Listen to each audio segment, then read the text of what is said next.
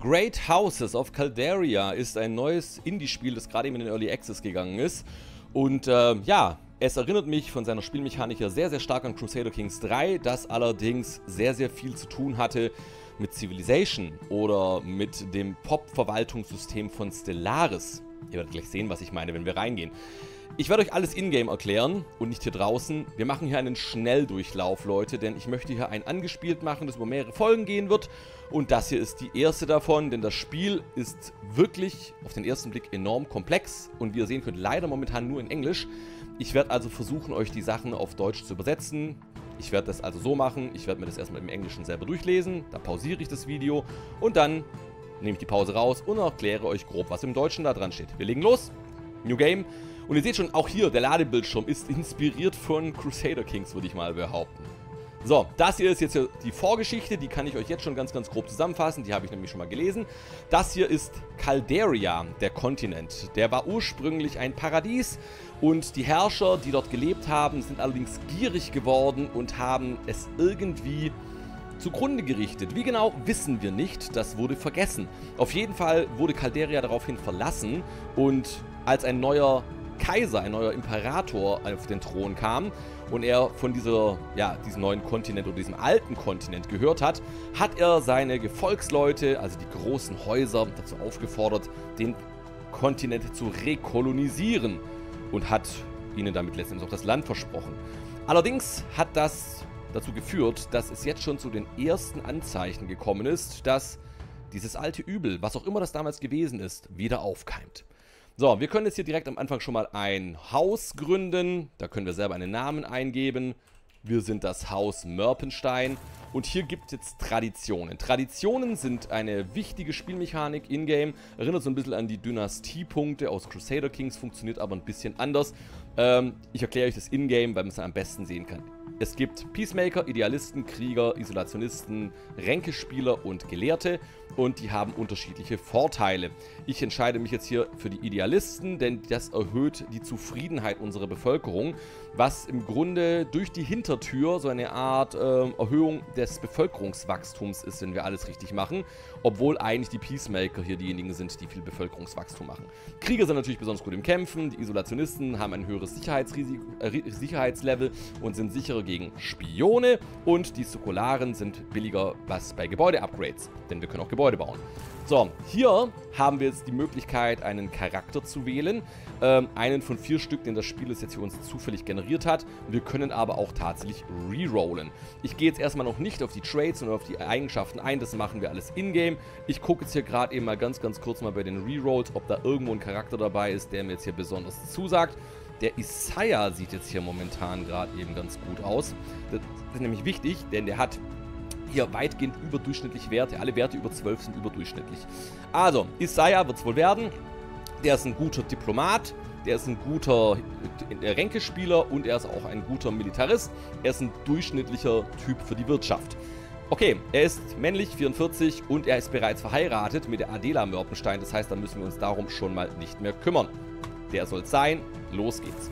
Dann können wir noch unser Wappen hier generieren. Da können wir die diversesten Dinge tun. Ich entscheide mich hier für diesen Gaul. Warum, werden wir gleich sehen. Da habe ich nämlich was entdeckt, was ich ganz witzig finde. So, das sieht nämlich jetzt so aus, als ob der Gaul hier rausgucken würde. Entschuldigung, ich finde es einfach nur lustig. Also, wir machen weiter und jetzt kommen wir zum Bereich unseres Ursprungs. Das ist im Grunde sozusagen die geografische Gegend, von der wir her starten. Das Spiel ist nämlich eingeteilt in unterschiedliche geografische Gebiete. Es gibt also einmal die Flachlande, wo man besonders gut Nahrung und äh, Bevölkerung erweitern kann. Es gibt die Hügel, da gibt es besonders gut äh, Weinanbau äh, und auch Viehzucht. Dann gibt es die Gebirge, da kommen wir am leichtesten an Baumaterialien und Metallerze ran und in der Steppe kann man besonders gut Pferde züchten und Gold. Ich entscheide mich für die Flatlands, einfach für den Anfang. Und dann haben wir jetzt hier verschiedene Flatlands-Gebiete jetzt hier zur Auswahl. Also wir hätten woanders jetzt hier andere Gebiete genommen, äh, hätten wir uns zum Beispiel, keine Ahnung, für die Hügel, äh, für die Gebirge oder für die Steppe entschieden. Und jetzt können wir so durchschalten und die unterschiedlichen Gebiete, wie zum Beispiel Alverca oder Galdas oder Lunresa uns hier anschauen. Und ich werde mich jetzt hier für Lunresa entscheiden, weil es hat einen leichten Start. Da können wir auch wunderbar damit anfangen. Ne? Ich habe auch erst drei Stunden in dem Spiel. Ich werde es hier nicht anfangen, sehr, sehr schwierig zu spielen. Wir können das Ganze jetzt hier auch umbenennen. Das muss nicht Lunresa bleiben. Wir nehmen, nennen das jetzt einfach, keine Ahnung, Mörblingen, schwäbisches Gebiet. Ähm, wir haben hier einen Bonus auf den Anbau von Getreide und auch von ein bisschen ähm, Weinreben. Äh, auch Materialien haben wir hier einen Bonus und sogar äh, Metallohr, also Erze. Und wir haben von Anfang an schon neun Arbeitskräfte. Das ist wichtig, weil die müssen die ganze Arbeit machen. Und schon zwölf vorgefertigte Gebäude. Das ist in jedem Gebiet anders. Also das müsst ihr euch im Zweifelsfall im Detail genau angucken. Wir starten. Wir brauchen kein Tutorial und sind jetzt schon drin. Hier oben haben wir unsere Ressourcen. Das hier sind unsere zur Verfügung stehenden Charaktere. Das hier sind unsere Objectives und Notifications und Messages, also alles, was wir halt quasi wissen müssen, was das Spiel uns sagt. Und hier unten haben wir dann hier die Spielgeschwindigkeit, hier die anderen Menüs, wie zum Beispiel jetzt hier, wo es um den Krieg geht, ob wir im Krieg sind oder halt auch nicht. Hier Feudalismus, also wer letzten Endes wessen äh, Lehnsherr und so weiter und so fort ist. Das hier ist zum Beispiel jetzt hier unser Overlord, hier die Countess wir sind ein Baron, also wir haben eine Gräfin über uns hier, die unsere Herrscherin ist. Hier können wir dann hier die Beziehungen sehen, wer uns mag und wer uns nicht so sehr mag. Ja, und das ist einfach der Default-Modus. Ne? Hier gibt es dann natürlich auch noch Spione, wer wo wie Spione hat. Und last but not least, welche Ressourcen es gibt, könnte man natürlich auch noch anklicken. Dann haben wir hier die Siegesbedingungen. Das ist quasi hier sozusagen äh, mehr oder weniger unser Questlog. Äh, wir haben natürlich angefangen. Dann gibt es jetzt hier den anfänglichen, das anfängliche Wachstum. Wir sollen jetzt also einen Overseer assignen, also jemand, der für uns quasi die Arbeit irgendwo überwacht. Dann sollen wir einen, bei einem anderen Herrscher einen offiziellen Besuch abstatten und wir sollen ein Gebäude konstruieren. Dann haben wir diese Quest hier schon mal abgeschlossen und dann arbeiten wir uns quasi durch die anderen so Stück für Stück für Stück. Das ist auch relativ praktisch so, da wird man nämlich so ein bisschen durchs Spiel geführt, wenn man neu ist. Finde ich ganz gut. Dann gibt es hier noch die Traditionen. Das ist das, was ich gerade eben schon mal äh, schon am Anfang gezeigt habe. Ne? Wir sind jetzt ja dieser Idealist. Wir können das aber theoretisch jederzeit ändern. Es gibt nämlich zwei Arten, wie wir uns jetzt hier leveln. Also diese Traditionen, wie ihr sehen könnt, diese können sehr, sehr verzweigt sein und bringen uns dadurch jetzt hier quasi neue Möglichkeiten. Ähm, hier zum Beispiel in dem Fall, dass noch mehr Happiness generiert wird. Happiness erkläre ich auch gleich noch. Oder wenn wir sagen quasi, okay, wir waren jetzt genug idealistisch, jetzt geht's zum Krieg. Dann wollen wir Krieger werden. Dann kann ich zum Beispiel jetzt einfach hier meinen Fokus dorthin ändern und dann äh, generieren wir mehr Punkte für Warrior. Wie das gleich gehen wird, erkläre ich noch, ne? Denn wir werden durch Entscheidungen, die wir treffen im Spiel, werden wir Punkte generieren. Manche dieser Punkte sind fest einer Art von Tradition zugeordnet, andere sind generische Punkte und fließen dann automatisch in den Bereich rein, den wir jetzt ausgewählt haben, in diesem Fall jetzt hier Idealistentum. Dann ähm, haben wir noch als letztes hier noch die Ranks of Calderia. The few of honorary ranks of Calderia providing special powers and bonuses for their holders. Das wird für uns jetzt am Anfang momentan noch nicht wirklich wichtig sein. Ihr seht, das sind so, ja, also im Grunde Ränge. Ich würde es jetzt mal auf den ersten Blick so vergleichen mit dem Rat eines entsprechenden Herrschers. Ähm, spielt jetzt aber für uns am Anfang jetzt erstmal keine Rolle. Denn ich weiß auch ehrlich gesagt noch gar nicht so richtig, was das hier letzten Endes genau äh, alles so mit sich bringt. Warte mal, wie komme ich jetzt hier eigentlich wieder raus? Ah, einfach rausklicken, alles klar, gut. Gut, äh, und dann haben wir jetzt hier natürlich noch äh, hier unsere Baronie selber. Die können wir uns hier anschauen.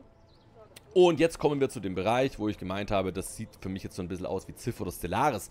Denn das hier sind unsere Gebäude. Wir haben einen Keep, äh, wir haben unsere Farmen, wir haben unsere Weingärten, äh, unsere Mason, also quasi unsere ja, Werkstätten, unsere Herden, also unsere Viehweiden, wenn ihr so wollt, und unsere Freeholders, das sind spezielle Herden, die kümmern sich hier um unsere Pferde.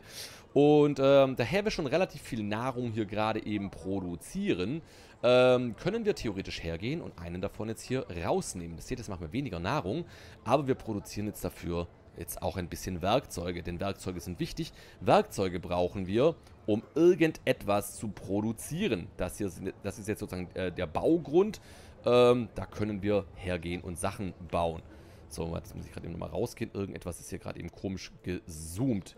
Ich glaube, jetzt ist es besser gezoomt. Ne, ich weiß nicht, warum das so komisch ist. Das war vorhin noch nicht. Egal. Äh, Hauptsache, wir können trotzdem noch sehen, was hier zu sehen sein soll, Freunde.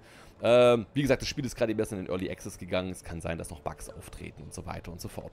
Ja, also wir haben von Anfang an schon ein paar Gebäude. Diese Gebäude schalten uns mehrere Sachen frei. Das können wir immer hier so Maus over hier oben kontrollieren. Das hier ist ein Gebäude, das erhöht zum Beispiel die maximale Population, die wir fassen können.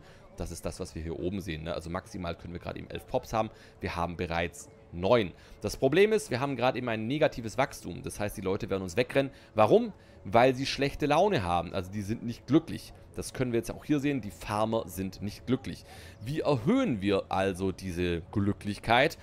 Wir müssen Charaktere einstellen, die besonders gut darin sind, die Leute zu motivieren. Das sind dann Leute mit einem hohen Wert in Diplomatie. Ihr seht es jetzt schon, das ist schon mal an dieser Stelle sehr, sehr wichtig. Aber auch die anderen Aufgaben sind hier wichtig, denn ihr seht, es gibt hier die Attribute, die sind hier auch nochmal zu sehen.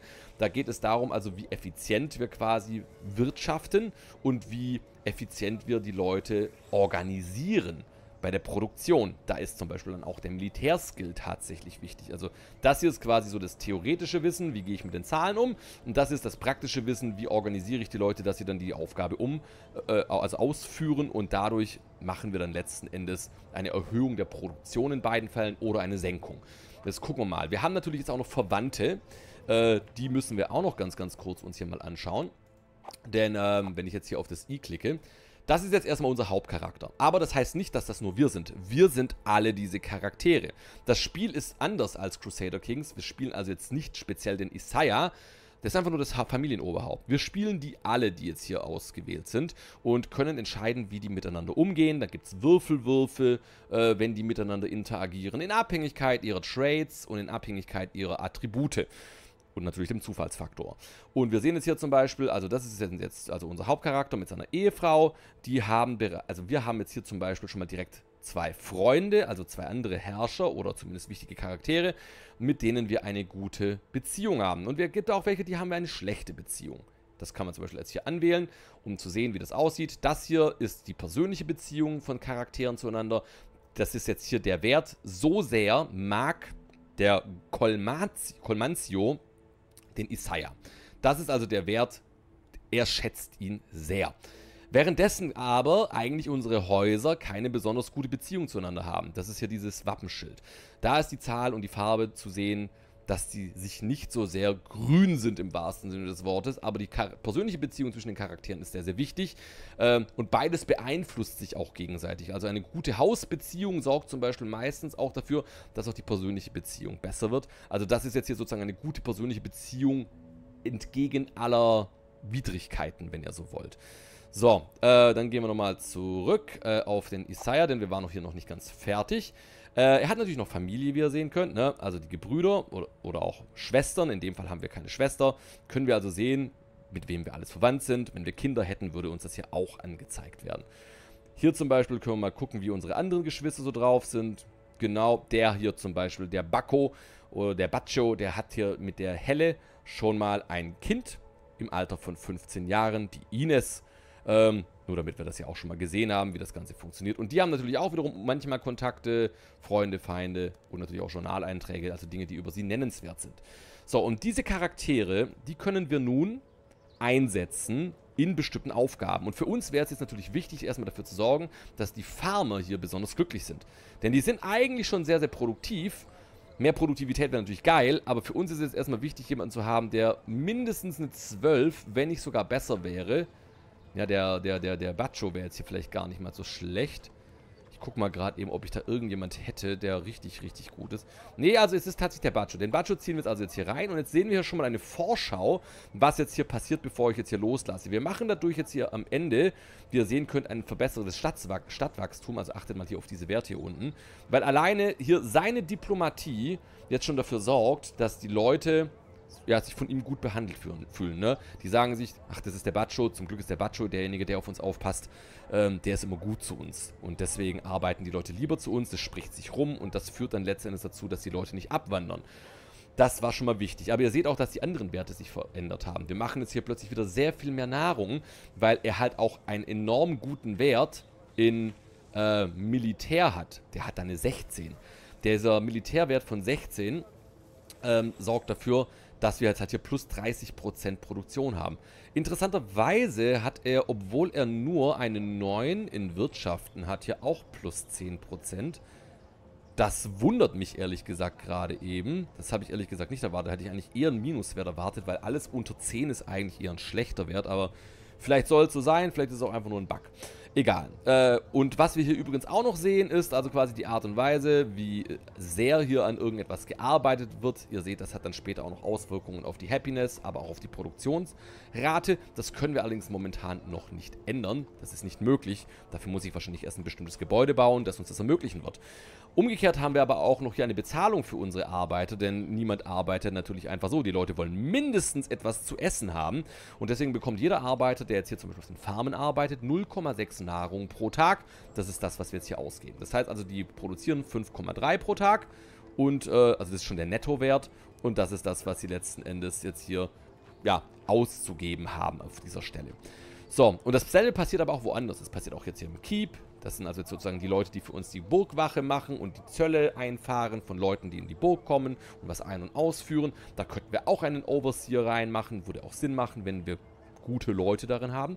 Äh, die verdienen aber, wie ihr sehen könnt, schon mal ein bisschen mehr, generieren aber auch Geld. Ähm, dann hier bei unseren Weingärten haben wir natürlich Leute, die wiederum, ja, also die Weintrauben anbauen. Dann haben wir hier Leute, die machen für uns die Werkzeuge. Hier die Leute, die sich um unser Vieh kümmern und ganz unten die, die sich um unsere Pferde kümmern. Äh, und die wiederum, wie ihr seht, die werden tatsächlich mit Livestock bezahlt. Also die bekommen kein Essen, sondern die bekommen tatsächlich Vieh äh, als Bezahlung an der Stelle. Allerdings keine Pferde. Jetzt gucken wir mal, habe ich noch irgendjemand, der einen besonders hohen Diplomatiewert hat? Ähm, der AI-Tor wäre vielleicht auch nicht schlecht. Ich mache mal den AI-Tor hier rein. Ähm, der hat jetzt auch dafür gesorgt, wie ihr seht, dass die Leute jetzt hier sehr, sehr happy sind und wir haben dadurch jetzt ein positives Wachstum erhalten. Das ist gut, das gefällt mir. Ähm, tatsächlich hat sich auch die Sicherheit die erhöht, ne? wie ihr gerade eben sehen könnt. Also die Sicherheit ist auch wichtig. Ob sich irgendwelche, ja, zwielichtigen Gestalten hier herumtreiben, die uns jetzt hier auf die Pelle rücken wollen. Das, können, das sorgt er dafür, dass er jetzt zumindest bei unseren Pferden jetzt hier das wahrscheinlich, das wird es weniger wahrscheinlich erleben. So, die Adela wiederum, die ist auch relativ gut. Die packe ich jetzt mal... Warte mal, was kann die eigentlich sonst noch? Oh, komm, die packe ich mal jetzt mal hier rein. Die soll das da oben äh, jetzt hier machen. Dann machen wir sogar noch mal ein bisschen mehr Geld. Also die beaufsichtigt jetzt hier die Burgwachen an der Stelle. Ähm, und was kann der Darwin machen? Der Darwin ist auch nicht schlecht. Komm, der sorgt jetzt hier dafür. Bei den Arbeitern hier. Da hat sich jetzt, wie ihr sehen könnt, allerdings jetzt hier nichts verbessert. Die sind jetzt bloß besser gelaunt wodurch wir vielleicht noch mehr Wachstum bekommen mit der Zeit. Ja, und jetzt haben wir halt noch die Helle. Die Helle ist leider nicht so die geilste, aber sie ist... Ja, vielleicht ist sie doch ganz, ganz gut hier. Also sie hat jetzt hier leider die Laune wiederum gesenkt, was jetzt echt ein bisschen kacke ist. Ähm, aber dafür ist sie halt sehr, sehr gut im Bereich Wirtschaften. Ne? Also ihr seht es, wir machen dadurch jetzt hier 0,1 Livestock mehr. Wir könnten das natürlich aber auch umtauschen dass sie das macht und sie das. Und dann haben wir nämlich ja auch immer noch eine 0. Aber ihr seht, es ist niemand unglücklich. Und wir machen dadurch jetzt halt hier auch 1,5 und hier 1,6. Also das hat sich jetzt schon ein bisschen gelohnt. Aber was machen wir selber eigentlich? Wir könnten natürlich auch einen solchen Job machen. Das ist gar kein Problem, indem wir jetzt einfach hier reingehen. Dann bekommen wir hier mehr Weintrauben. Aber, und das werden wir jetzt auch hier so lassen, weil das bringt uns natürlich was. Wir sollten natürlich auch Aufwartung machen bei anderen Herrschern. Wir müssen Handel treiben und irgendwann mal vielleicht sogar Kriege führen. Und dafür hat das Spiel, soweit ich das gesehen habe, ein interessantes Minispiel-Schlachtsystem. Also wie so ein eigenes Strategiespiel innerhalb des Spiels, was ich äh, zumindest jetzt am Anfang relativ nett fand. Das erste, was ich glaube ich machen würde, ist jetzt hier zu unserer Gräfin zu gehen und äh, ja, erstmal einen offiziellen Besuch abzustatten. Und da muss ich jetzt entscheiden, welchen Charakter schicken wir dahin. Ja gut, wir gehen natürlich höchstpersönlich hin und möchten jetzt hier mit unserer Lehnsherrin sprechen. Und ihr seht, die hat auch ein relativ gutes Verhältnis zu uns, ähm, denn äh, sie mag es, dass wir Ambitionen haben, weil sie selber grausam ist. Sie hat also Spaß mit uns, weil wir grausam, äh, weil sie grausam ist und wir Ambitionen haben. Wahrscheinlich wird sie unsere Ambitionen im Keime ersticken. Äh, unsere Häuser haben auch eine relativ gute Beziehung zueinander. Gut, also ihr seht auch hier ne, diese Eigenschaften, die wir haben, wie zum Beispiel Diligent, die verbessern jetzt hier in diesem Fall unsere Werte. Ambitionen, haben diese Werte auch verbessert, also wir strengen uns besonders an, aber wir sind auch wiederum skeptisch, äh, was jetzt hier wiederum unseren Intrigenwert so weit erhöht hat. Wir schicken uns jetzt hin und jetzt sehen wir etwa, dass das Spiel überhaupt auch mal Bewegung haben kann. Äh, und jetzt erleben wir das, wofür Crusader Kings 3 über zwei Jahre gebraucht hat und einen eigenen DLC, dass Charaktere sichtbar durch die Landschaft laufen. Das ist in diesem Spiel übrigens normal, dass die Charaktere durch die Gegend laufen. Das wird später ein richtiges Gewusel werden. So, jetzt haben wir hier unsere Verhandlungen. Wir sind also angekommen. So, also, es geht um folgendes. Also wir sind angekommen, also Isaiah ist angekommen am Hofe von Sibylla und äh, sie wollen wohl die Sicherheit des Landes und die Sicherheitsprotokolle besprechen. Wir wurden tatsächlich wärmend empfangen und haben relativ schnell angefangen mit den Diskussionen, um das Thema zu bearbeiten.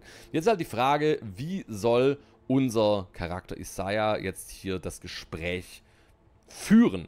Dann haben wir jetzt hier die Möglichkeit erstmal zu gucken, was passiert hier eigentlich. Das hier ist jetzt ein sogenannter Peacemaker Tradition Point.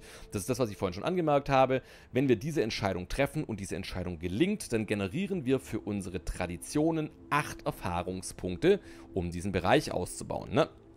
Ähm, umgekehrt können wir das natürlich auch jetzt hier mit kriegerischen Fähigkeiten machen und wir können das Ganze natürlich auch hier mit äh, gelehrten Punkten machen welche Informationen oder welche Möglichkeiten uns hier zur Verfügung stehen. Das hängt immer von den entsprechenden Events ab. Es gibt natürlich auch manchmal welche, wo wir dann als Idealist auftreten können und so weiter und so fort.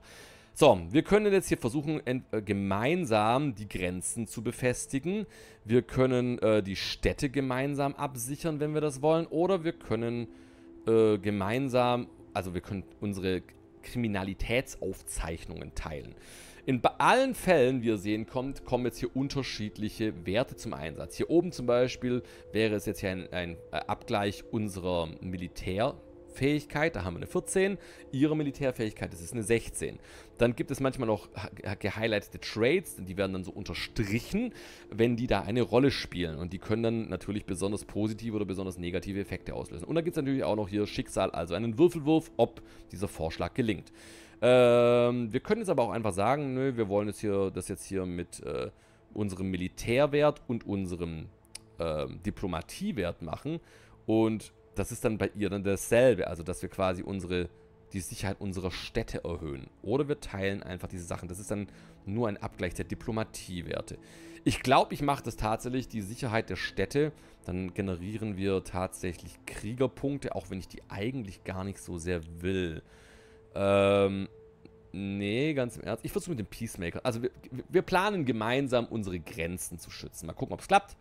Es hat wohl geklappt, denn die Zahlen hier sind grüner geworden. Das heißt, die Charaktere schätzen sich jetzt ein klitzekleines bisschen mehr. Isaiah hat also die Führung der Konversation übernommen und äh, entsprechende gute Argumente konstruiert, die wiederum Sibylla überzeugt haben. So, dann können wir das jetzt hier abschließen. Und jetzt gab es dadurch natürlich Werteänderungen, die wir uns jetzt hier auch ganz, ganz kurz mal anschauen können. Ähm, hier seht ihr jetzt zum Beispiel, dass hier die Meinung über die Familie sich verbessert hat an der Stelle. Opinion of Family, sechs Punkte. Äh, das kam jetzt oben noch drauf. Also die ist jetzt der Meinung, hm, das sind gute Leute, die Mörtensteins. Äh, und das äh, gibt es noch einen zusätzlichen Bonus. Jetzt hier der kürzliche Besuch, der hält allerdings nur 33 Tage an. Gibt es nochmal einen weiteren Boost. Und diese Werte übertragen sich dann natürlich auch auf die persönliche Meinung, weil sie natürlich das Ganze jetzt hier ausgearbeitet hat. Aber das kann natürlich auch sein, dass diese Werte sich bei ihrer Familie auch äh, dann noch auswirken.